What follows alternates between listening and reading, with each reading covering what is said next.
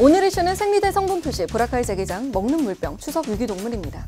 생리대 유해물질 논란 다들 기억하시죠? 식약처에서 안전하다라고 결론 내렸지만 아직도 불안해하거나 아예 탐폰이나 생리컵으로 넘어간 사람들도 많죠. 이게 벌써 1년 전 일인데 그 뒤로 뭐가 바뀌었냐? 이번 달부터 일회용 생리대의 모든 성분을 표시하는 게 의무화됐습니다.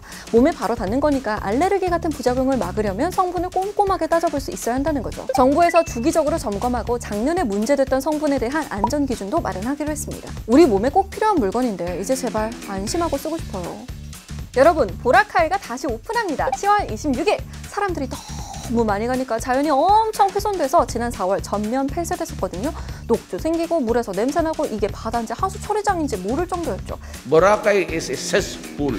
그렇게 6개월 지났는데 어떻게 변했냐면 따라다란딴 따다다란 집 나간 자연이 다시 돌아왔어요. 하지만 방심하면 안 되죠. 필리핀 정부는 앞으로 보라카이에 더 이상 리조트를 짓지 않고 현재 객실 중에서 환경보호 조건 충족한 곳만 영업하고 하루 관광객 수도 제한한다고 합니다. 자연에 6개월의 시간을 줬을 뿐인데 참 많은 게 바뀌네요.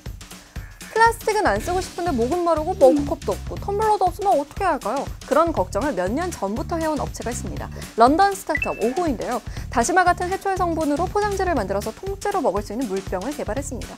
플라스틱도 안 쓰고 포장재에 들어가는 해초 성분이 건강에도 좋대요. 상용할 수 있나 싶은데 지난달 런던에서 열린 마라톤 대회에서 실제로 쓰이기 시작했습니다. 뛰다 지친 사람들이 한 입에 꿀떡꿀떡 물을 먹은 거죠. 여기서 끝이 아닙니다. 배달 음식도 사실 플라스틱 대잔치잖아요. 배달 업체와 손을 잡고 플라스틱 포장을 줄이는데 오호의 기술을 사용한다고 하네요. 오호, 이렇게 플라스틱이 자리를 잃어가는 것 정말 좋은 변화네요.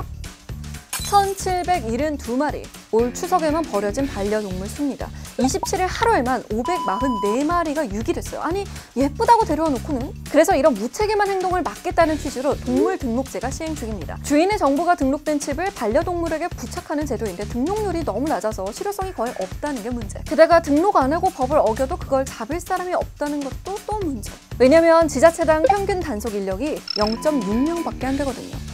하지만 이게 제도만의 문제는 아니에요.